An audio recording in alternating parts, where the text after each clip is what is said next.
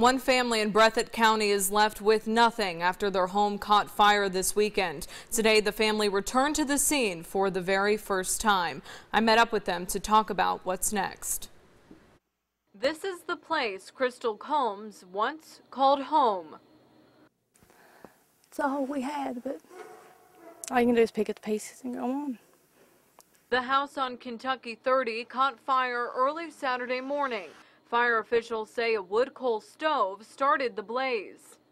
When he got to the living room, it was already on fire, and we opened the back door to get the kids out, and we barely got out with what we had on our backs. Combs, her husband, and their five girls moved into the home just months ago. They went back for the first time to see if anything could be saved. I mean, he just wanted a wedding ring, and luckily he found it. So that's all he wanted was just a wedding ring. And how it survived, I don't know, but it did.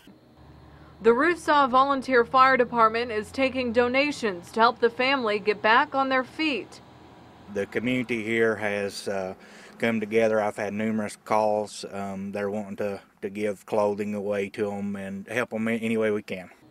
For Crystal Combs, she's just taking life day by day. She says she is hopeful. I'm just glad my kids are okay and just pray to God every day that something lines out and we all get back to normal. As they search among the rubble, finding pieces of their past to help rebuild their future.